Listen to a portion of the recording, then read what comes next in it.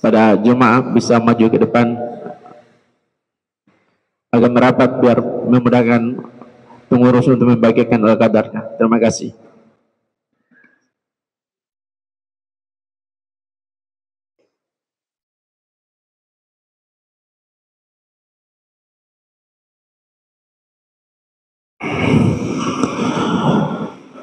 الفاتحة إلى سيدنا وحبيبنا وشفينا رسول الله محمد بن عبد الله وعلى آله وأصحابه وأزواجه وذريته وأهل بيته أجمعين. خصوصا إلى روح سيدنا أحمد بن عيسى المعاني الفقير المقدم محمد بن علي بعلوي وأصول وفروعه وإلى حضرة النبي محمد صلى الله عليه وسلم. الفاتحة. أعوذ بالله من الشيطان الرجيم. بسم الله الرحمن الرحيم. الحمد لله رب العالمين. الرحمن الرحيم. مالك يوم الدين. إياك نعبد وإياك نستعين. اهدنا الصراط المستقيم صراط الذين أنعمت عليهم غير المغضوب عليهم ولا الضالين. آمين. السلام عليكم ورحمة الله وبركاته.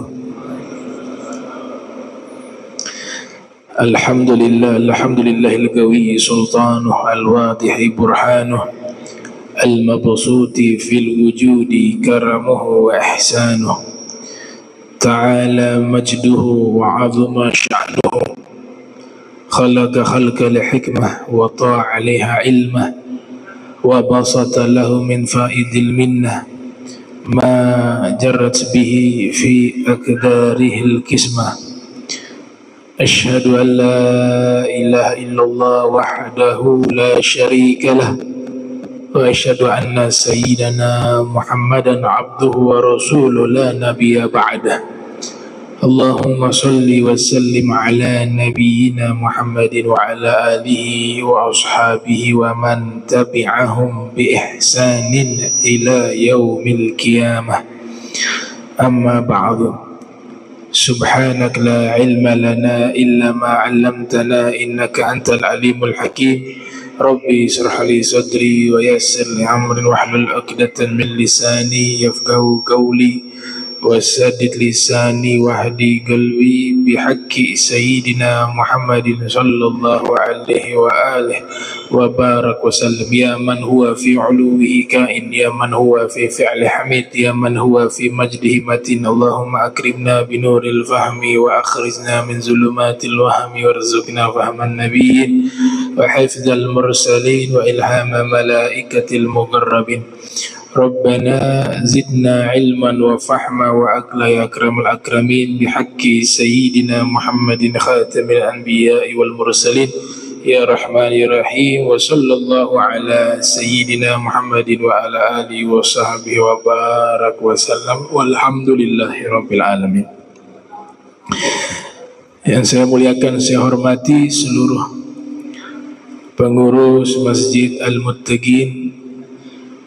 Wabil khusus kepada Imam Aminun Albar mata'anallah ta'ala bituli hayatihi wa umrih mu'adzin wa hadirin hadirat yang insyaallah dirahmati Allah subhanahu wa ta'ala.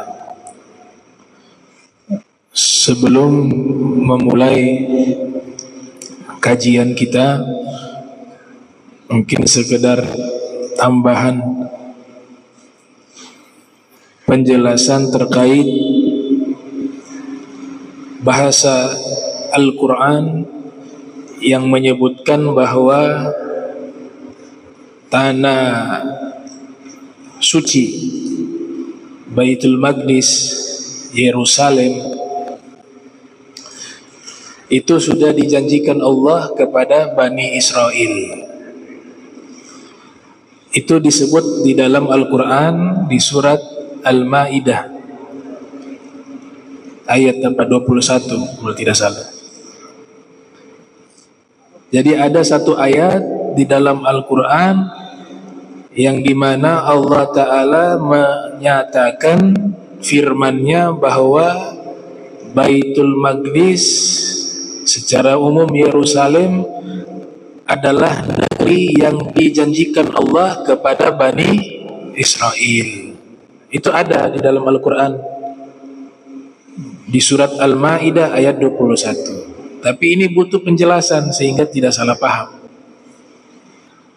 Ya, karena ini juga menjadi satu senjata satu hujjah yang menyatakan bahwa Allah menjanjikan tanah ini untuk mereka tanah suci Yerusalem itu untuk Bani Israel ada yang memahami seperti itu maka yang perlu saya sampaikan yang pertama lafad Israel di dalam Al-Quran tidak ada sangkut paut dengan nama negara yang ada sekarang. Tidak ada sangkut paut sama sekali. Israel itu bahasa Ibrani artinya hamba Allah. Isra artinya hamba, il artinya Allah. Jadi artinya sangat bagus. Jadi Israel itu artinya Abdullah dalam bahasa Arab. Artinya hamba hamba Allah. Al-Imam Syaukani di dalam kitab Fathul Qadir menyatakan qad ittafaqal mufassirun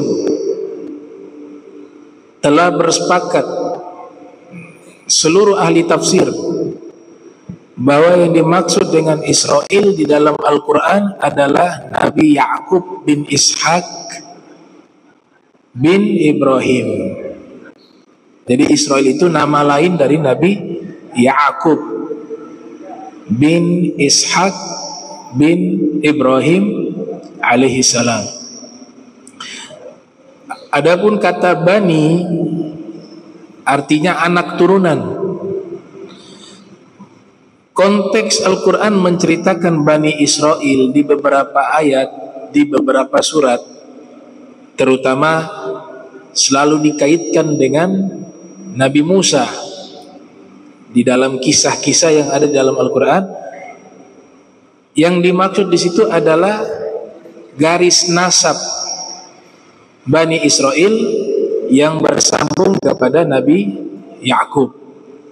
Itu yang dimaksud dalam Al-Quran. Nah sehingga di zaman kita ini gak ada kaitannya Bani Israel dengan negara Israel. Beda. Kalau bilang anak turunan Israel, orang Palestina jauh lebih dekat karena penduduk asli turun temurun dari situ. Orang Palestina mungkin juga bernasab ke Bani Israel. Atau orang-orang Yahudi yang asli ya, yang mukim turun temurun dari situ. Mereka justru lebih dekat. Negara Israel berdiri itu pendatang, bukan warga asli di tempat itu. Berarti Bani Israel bukan yang dimaksud negara Israel. Gak ada sangkut paut sama sekali. Jadi 43 kali Allah sebutkan di dalam Al-Quran istilah Israel, Bani Israel. Bahkan jadi satu surat surat Al-Isra. Surat Al-Isra itu nama lainnya surat Bani Israel. Dia punya dua nama. Nama pertama surat Al-Isra karena di pembuka surat tersebut Allah informasikan peristiwa Al-Isra. Subhanalladzi asra bi'abdihi laila sampai akhir ayatnya maka dinamakan surat Al-Isra.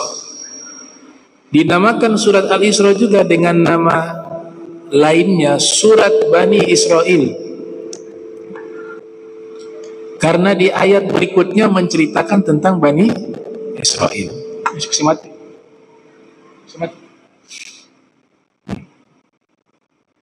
Nah, nah, jadi surat Bani Israel dinamakan surat Bani Israel karena sebab di ayat kedua itu menceritakan Bani Israel. Di ayat pertama disebut surat Al-Isra karena menceritakan peristiwa Al-Isra.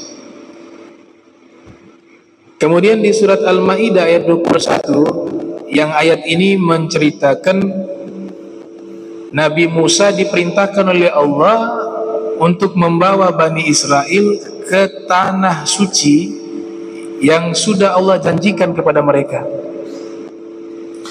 Ya qaumi udkhulu al-arda al-mukaddasa allati kataballah lakum. Wahai kaumku masuklah ke tanah yang suci yang sudah Allah janjikan untuk kalian. Nah ini ayatnya. Wahai kaumku itu yaitu Bani Israel karena yang berbicara memanggil di situ adalah Nabi Musa. Wahai kaumku, masuklah kalian ke tanah ke bumi yang suci yang Allah telah janjikan kepada kalian. Berarti di sini ada janji dari Allah kepada Bani Israel yaitu mereka menetap di bumi yang disucikan. Al-arda al-mukaddasah di ayat yang lain Allah Ta'ala mengharamkan selama 40 tahun selama 40 tahun Bani Israel tidak boleh menetap di tanah yang disucikan. Qala fa innaha muharramatun alaihim arba'ina sanatan yatihuna fil ardi fala ta'sa 'alal qaumil fasikin.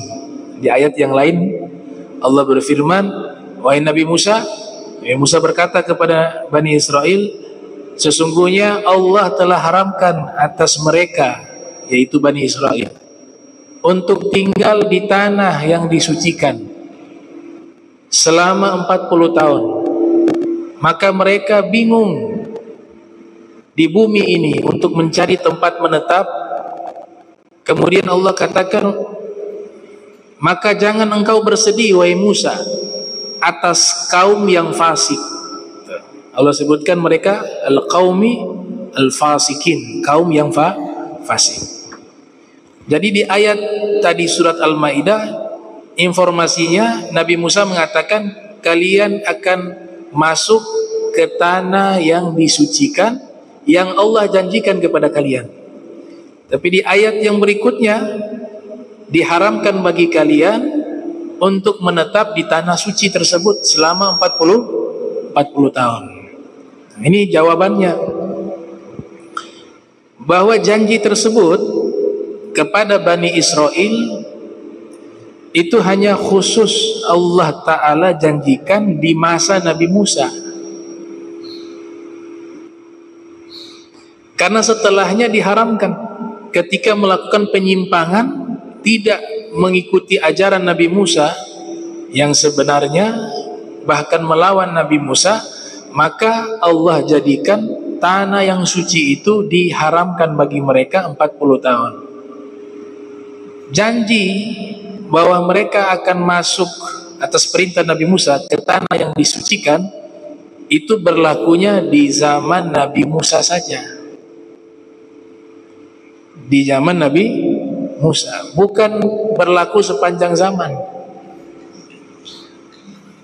Kemudian tanah yang disucikan pun para ulama tafsir tidak menyatakan dengan sepakat bahwa yang dimaksud tanah yang disucikan itu adalah Yerusalem.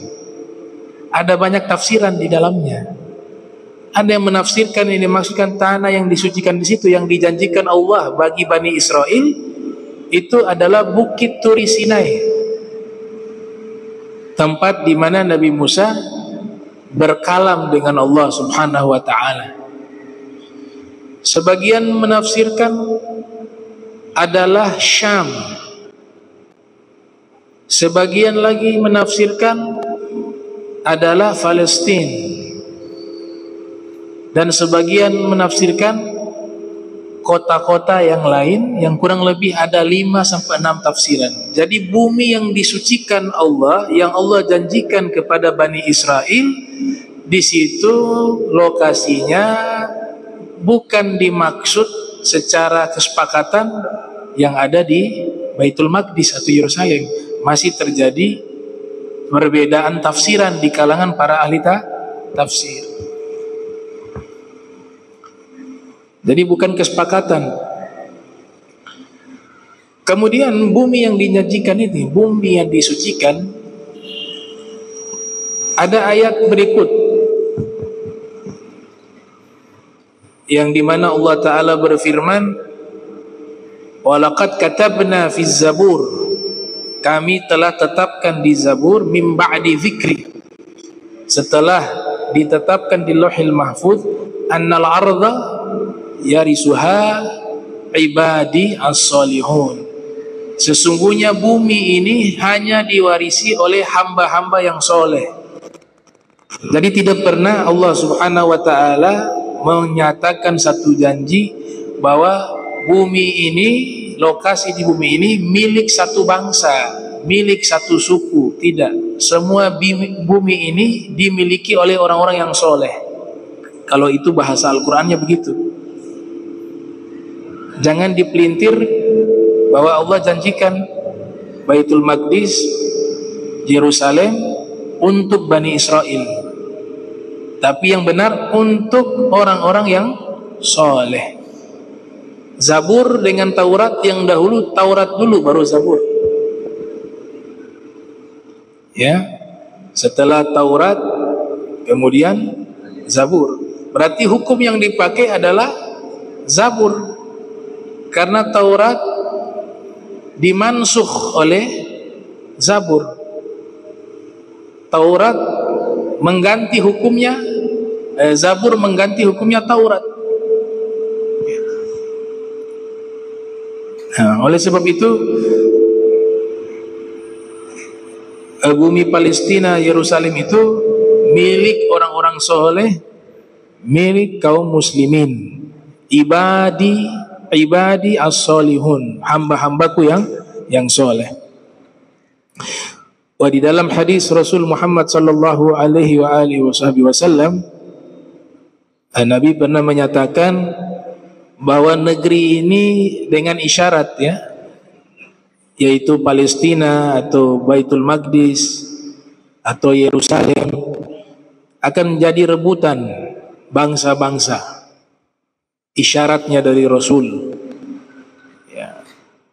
apakah yang dicari ada emas di situ tidak ada emas tambang emas tidak ada di situ yang dicari minyak tidak ada minyak di situ Baitul Maqdis. Tapi yang mereka rebut, mereka cari adalah tanah suci Al-Haram Asy-Syarif. Tanah yang suci menurut keyakinan mereka. Kalau Yahudi ada tembok ratapan dan haikal Sulaiman. Kalau Nasrani di situ tempat tumbuhnya Yesus, Isa. Bahkan tempat disalibnya di Kanisa Al-Qiyamah, gereja Al-Qiyamah diyakini oleh orang-orang Nasrani Ortodoks di situ tempat Yesus disalib. Di situ juga ada Masjid Sayyidina Umar bin Khattab. Di situ bagi umat Islam ada tempat Mi'rajnya Nabi. Ada tempat arah kiblatnya Nabi. Masjid Kibli ada batu yang menjadi tempat pijakan Nabi ketika naik ke langit. Dibangun masjid namanya Masjid Kubbati Sahra. Nah, inilah yang menjadi perebutan. Ya, tapi kalau bicara Al-Qur'an, keyakinan kita umat Islam itu milik orang-orang yang soleh. Orang-orang yang soleh pasti Muslim. Orang-orang yang soleh pasti mengikuti para ambia, para rasul. Itu. Nah ini sekarang jadi perebutan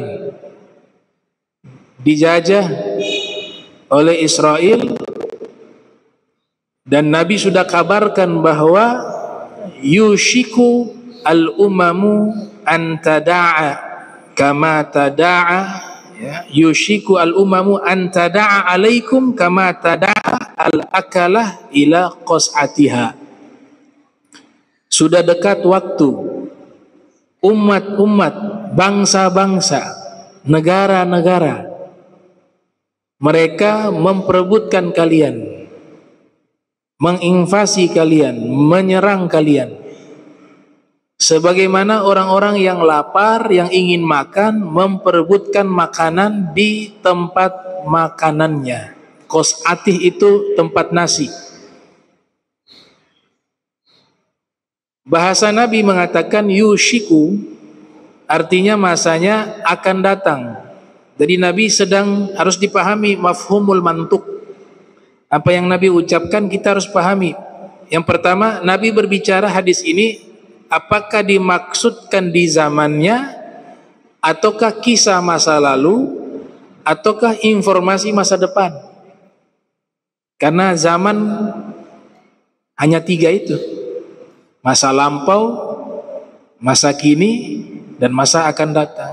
Nah orang yang paham mafhumul mantuk apa yang disabdakan oleh Nabi tentu para muhaddithun mereka juga harus memahami maksud dari Nabi menyatakan sabda tersebut apakah suatu cerita yang terjadi di masa lampau? Ataukah Nabi informasikan hal yang terjadi di saat beliau hidup?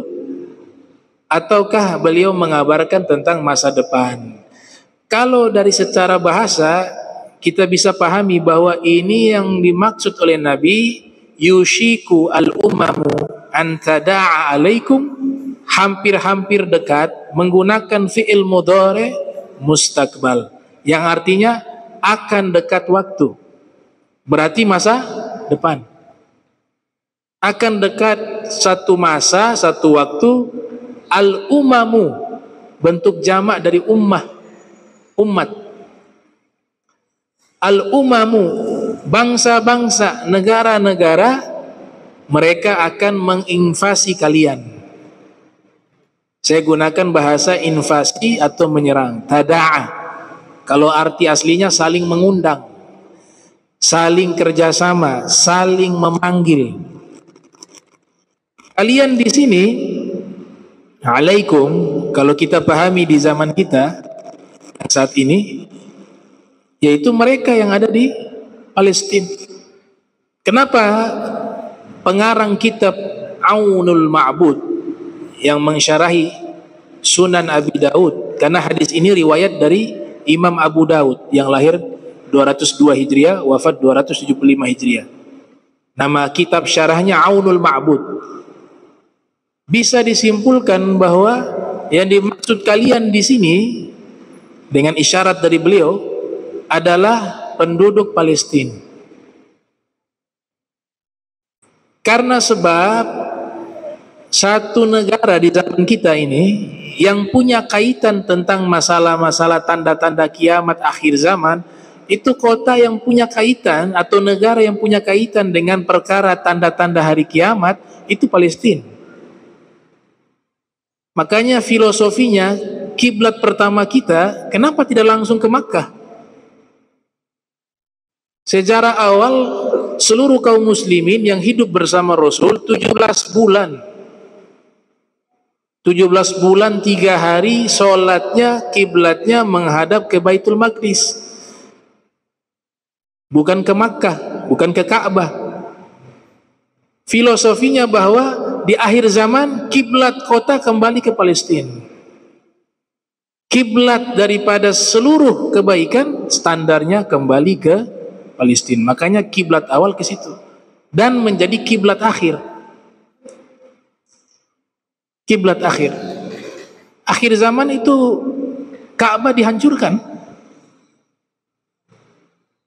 Gak ada lagi Ka'bah di akhir zaman nanti mendekati hari kiamat. Tapi kota ini ada. Dia tetap eksis. Itu kalau kita pahami secara jauh.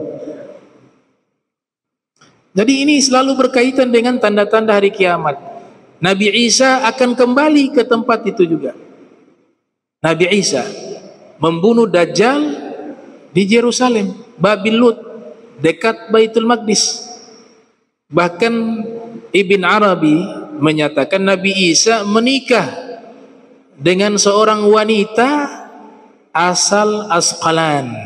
Asqalan adalah Gaza di masa dulu. Sekarang sudah masuk wilayah Israel. Tapi di tempo dulu itu wilayah Gaza. Ulama terkenal Ibnu Hajar Al-Asqalan, ya, leluhurnya asal dari kota tersebut. Nabi Isa menikah di situ dengan wanita dan Nabi Isa asalnya di situ. Lahirnya di Baitul Lahim. Tinggal di situ. Ibunya juga di situ. Maka dipercaya kurma yang disebut rutaban janiyah di dalam Al-Quran itu. Sayyidah Maryam menggoyangkan batang pohon kurma kemudian jatuh kurma dan beliau memakannya itu ada di Jericho yang ada di Jerusalem. Kurmanya besar. Itu yang disebut rutaban janiyah menurut para ulama tafsir di antaranya isyarah dari Syekh Said Alusi Al-Baghdadi. Jadi selalu berkaitan dengan apa? Tanda-tanda kiamat Palestina. Imaratu Imam Mahdi juga di situ pusat pemerintahan Imam Mahdi juga di situ. Tempat terbunuhnya Dajjal di situ. Tempat menikahnya Nabi Isa di situ. Bahkan padang mahsyar diyakini oleh sebagian ulama itu seluruh manusia dikumpulkan di satu tempat namanya mahsyar lokasinya di situ. Jadi selalu berkaitan dengan akhir zaman. Maka kata alaikum di sini relevan dengan realita yang terjadi saat ini bahwa al-umamu bangsa-bangsa Nabi menyebut dengan bentuk jamak. Kalau di dalam musnad Imam Ahmad bin Hanbal dirinci oleh Rasul bahwa mereka itu yang menjadi musuh umat Islam arbauna royah memiliki 40 bendera menghadapi Imam Mahdi. Di zaman Nabi bendera tidak memiliki makna khusus Artinya tidak dijadikan satu simbol negara, tapi di zaman kita bendera itu adalah simbol dari suatu negara. Inilah yang disebut Zionis dengan sekutu-sekutunya. Kalau dalam hadis Musnad Imam Ahmad, bin Hambal, pecah perang dunia ketiga yang disebut dengan bahasa hadis Malhamatul Kubro atau dalam bahasa Injil disebut Armageddon.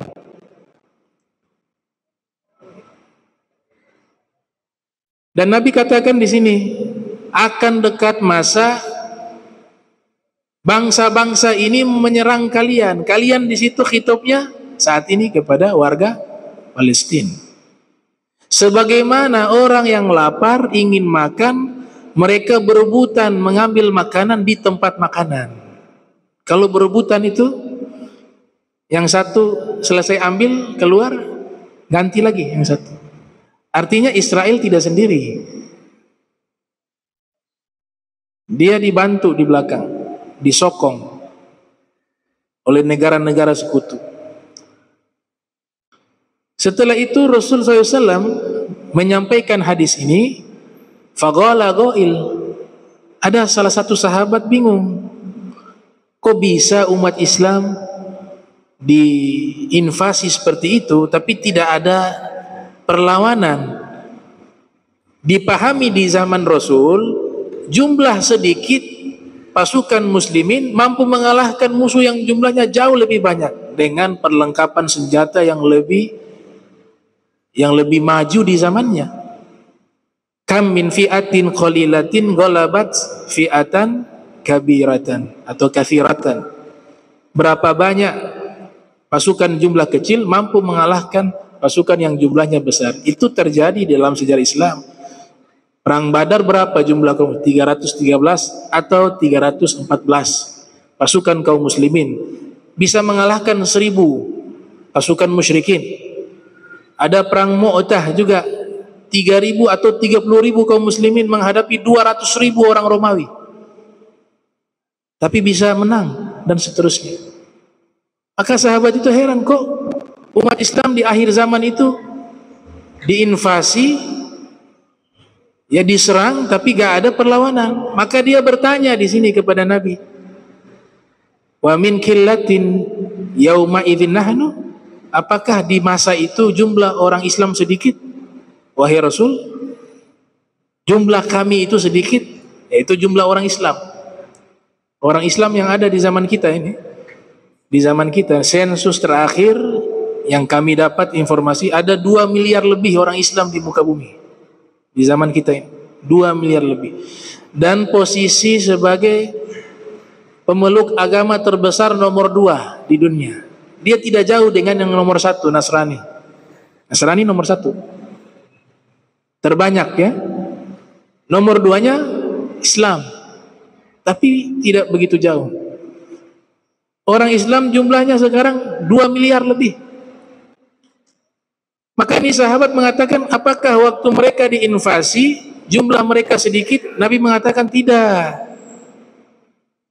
Bal antum yauma idzin kathir. Kalian pada zaman itu banyak kata Rasul. Jumlah kalian banyak kata Nabi sallallahu alaihi wasallam. Akan tetapi walakinnakum gutha ka gutha isail.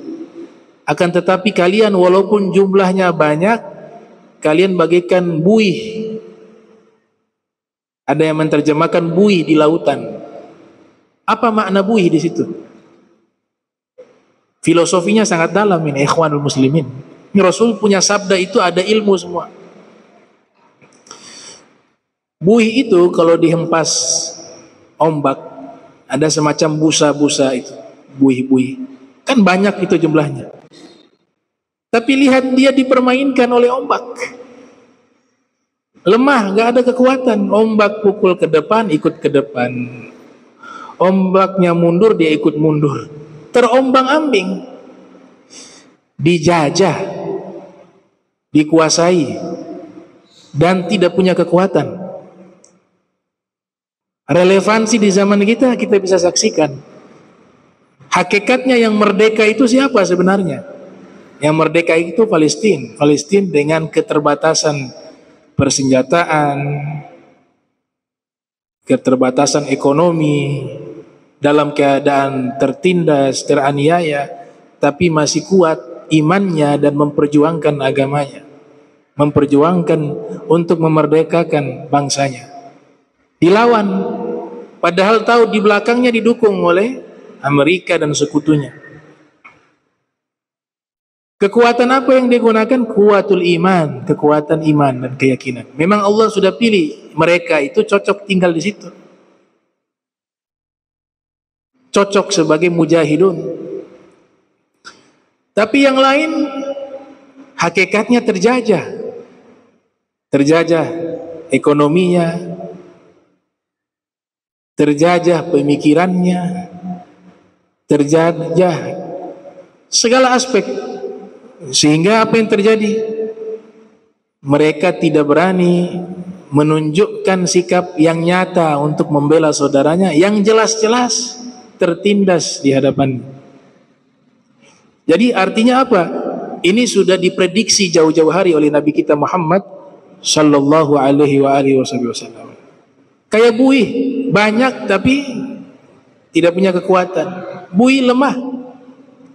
Gak ada kekuatan. Diombak ambik oleh ombak.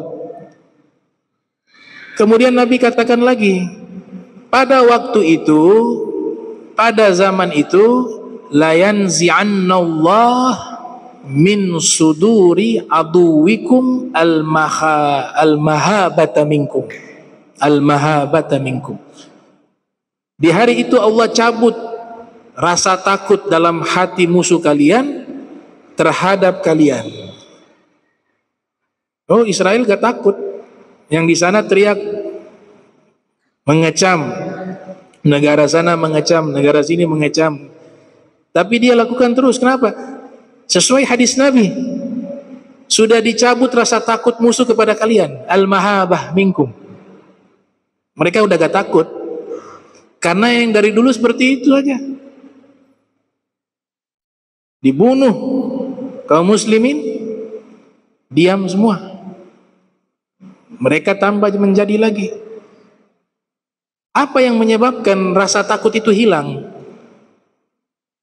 Berbeda terbalik dengan masa-masa kejayaan Islam walaupun ini masalah kemanusiaan. Tapi saat ini korban terbesar umat Islam.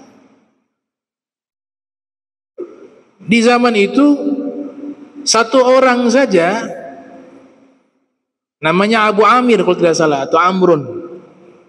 Satu orang. Orangnya bukan orang yang badannya besar, ya, orang pendek, kecil. Bahkan tidak punya senjata. Dia mendengar ada panggilan jihad menghadapi Persia di perang namanya Ghazwah Al-Qadisiyah. Dia semangat jihad, bingung, gak ada senjata. Di luar sudah ada barisan sahabat dengan pakaian lengkap dengan senjatanya. Dia tidak punya senjata, kendaraan juga tidak punya, tapi punya semangat dan keberanian luar biasa. Masuk ke dapur sudah gak ada senjata, ambil pisau dapur. Baju perangnya gak ada, diambil itu panci untuk jadi helmnya. Kemudian kalau orang Ternate bilang balangang, tempayan itu jadi pakaiannya. Dia ikat dengan tali. Jadi baju perangnya itu tempayan, balangang. Helmnya yang dia pakai adalah apa? Kuci atau baskom. Senjatanya pisau dapur. Keluar dia lihat, lah, kendaraan kuda, unta.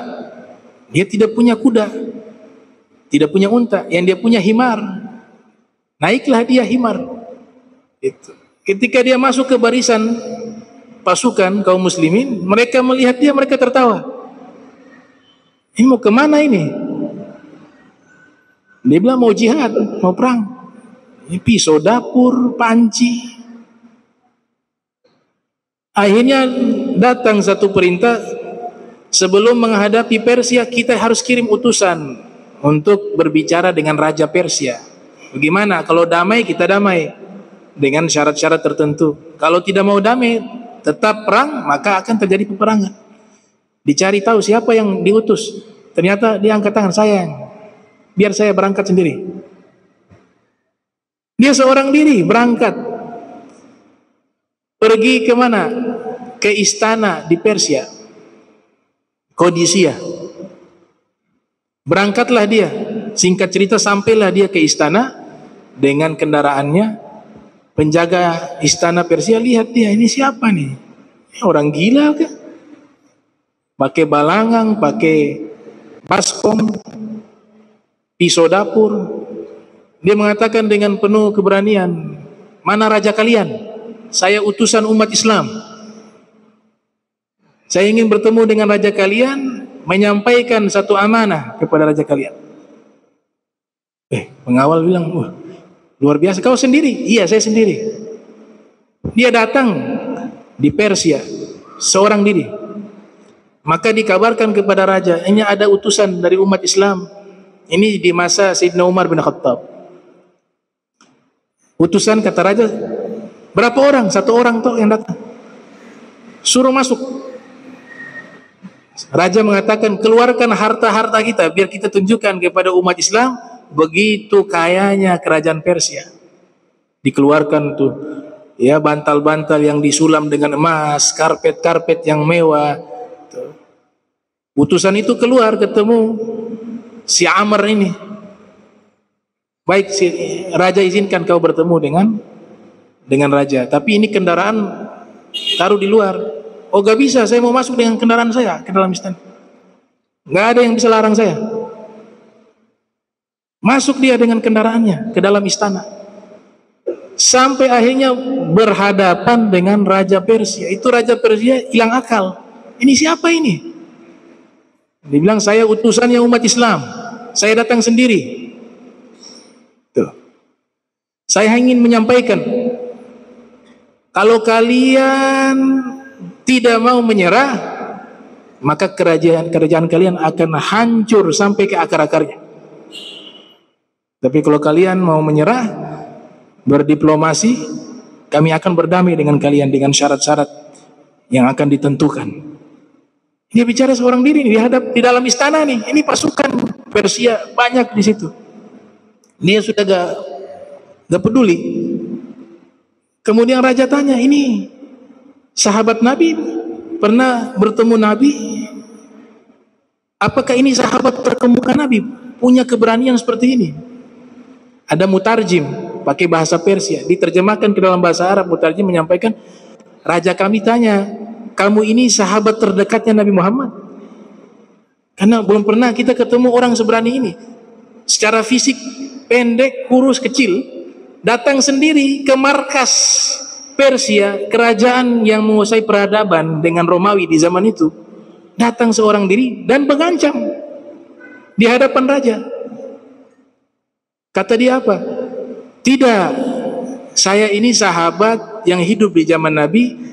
Nabi posisinya paling depan, saya selalu paling belakang. Saya bukan sahabat dekatnya Rasul. Saya sahabat yang paling di belakang. Itu raja bilang, kalau yang paling belakang model begini, bagaimana yang paling depan? Bisa bahaya ini. Iya, saya yang paling belakang. Bukan sahabat yang dekat dengan Rasul. Gitu. Baik, sebagai penegasan dari saya, dia lihat ada kursi mas tadi, ada karpet semua. Diambil itu pisau, dia turun dari kendaraannya, dirobek-robek itu. Kursi emas tuh. Dia mengatakan ini adalah harta rampasan perang yang saya akan bawa. Ambil itu di bawah. Dia pergi keluar, itu semua terdiam, bingung. Kok bisa begitu? Seorang diri Karena apa? Karena dia berperang bukan dengan senjata bukan dengan perlengkapan yang canggih tapi apa? Kekuatan iman yang dia miliki. Dia sudah ditarbiyah dididik oleh Nabi Muhammad SAW kalaupun meninggal keberuntungan yang mereka dapat dalam peperangan. Kalaupun menang mereka bisa melanjutkan dakwah ini dan menghilangkan kezoliman di muka bumi ini itu prinsip mereka Makanya mereka mengatakan kepada musuh-musuhnya di zaman itu, kami adalah kaum yang cinta kematian sebagaimana kalian mencintai kehidupan. Kalau kalian berperang untuk bertahan hidup, kami kebalikan daripada itu. Kami berperang untuk menjemput kematian kami. Itu dulu sekarang baru boykot sudah takut. Kasihan karyawan di sana bagaimana dia makan. Kasihan begini, kasihan begitu. Kalau orang-orang model begini hidup di zaman Nabi, itu Islam gak akan sampai di zaman kita. Takut susah, takut miskin, takut mati. Ada perang dicatat namanya Ghazwatul Usr atau perang Tabuk walaupun peperangannya tidak terjadi tapi pembuktiannya sudah terjadi. Itu masa krisis. Makan saja susah. Cuaca panas ekstrim. Bahkan banyak sahabat-sahabat yang dalam keadaan belum pulih dari luka peperangan, masih berdarah-darah. Ketika Nabi memanggil untuk jihad, tidak ada satupun yang menolak perintah itu mereka keluar dari rumahnya bahkan ada dalam keadaan merayap. Padahal kaki ini bekas luka jihad.